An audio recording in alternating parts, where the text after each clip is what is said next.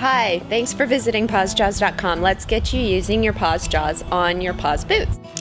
Use the lip on the Paws Jawz to catch the edge of the boot, stretching it. Then you've got the boot onto the Paws Jawz. You're going to stretch it so you can see it opens up the mouth.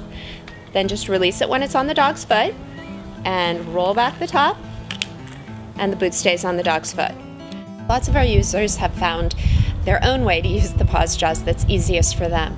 For example, if you do not have very strong fingers and um, you find it hard once you get your thumb into the boot to stretch it, then some of our users have said that they actually put the head of the device in between their fingers like this and then work it backwards to hook the boot onto the edge of the Paws Jawz. You don't have to stretch it with your fingers that much.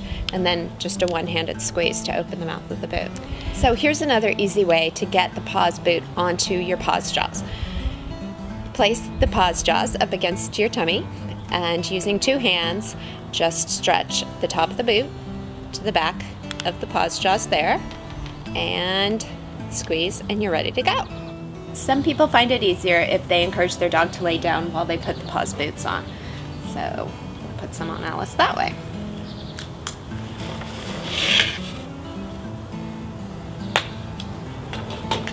She's got her boots on, she's ready for a nap.